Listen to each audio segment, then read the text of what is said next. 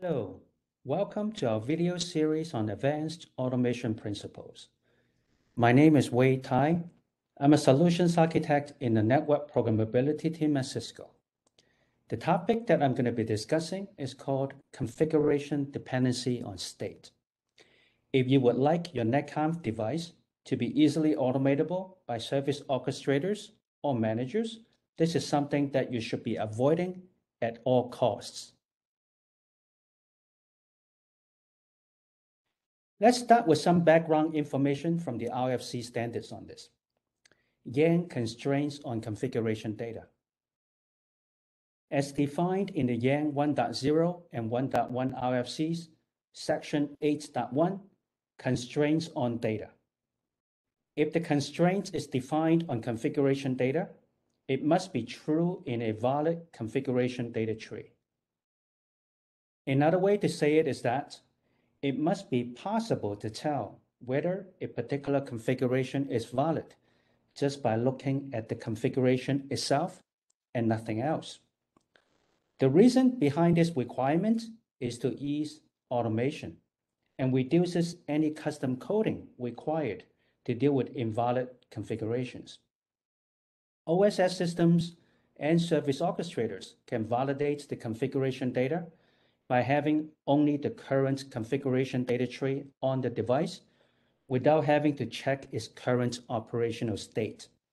This is possible to do even when the device isn't running. So how is this done in practice? Yang constraints on the configuration usually expressed in the form of must or when statements or leaf refs, must never refer to config false data. So this implies that the current device state must not play any part in whether a given configuration is valid or not. If you happen to be using ConfD and its validation call points feature to perform validation at runtime, your custom validation code must never use config false data to perform the validation of the configuration within a netconf transaction.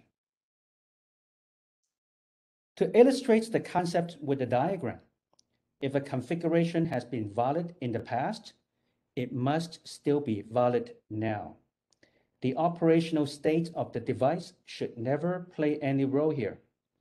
Service managers rely on being able to go directly to any valid configuration without running into any error conditions.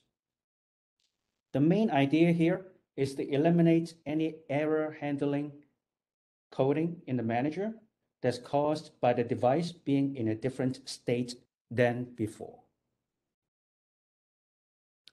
So how do you catch these incorrect configuration dependency issues? If the problem is in the Yang model, they can be caught during the Yang compilation with Yang compiler tools such as NSO's NCSC compiler and ConfDC compiler. If this sneaks through your Yang compiler, your Yang module won't interoperate with most managers, if not all. However, you still need to fix the design of your Yang module.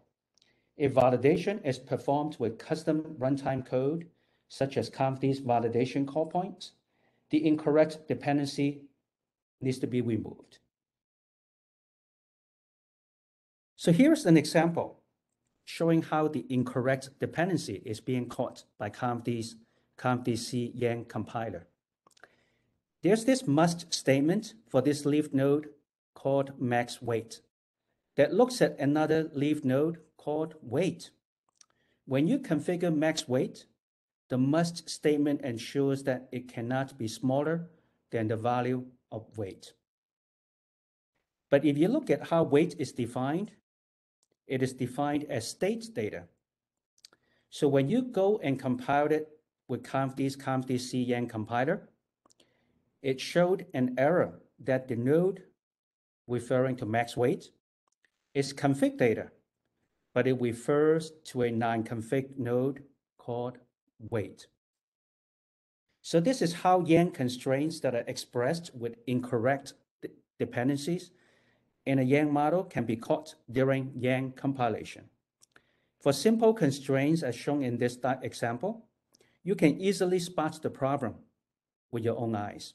For more complicated XPath expressions, a Yang compiler will come in handy.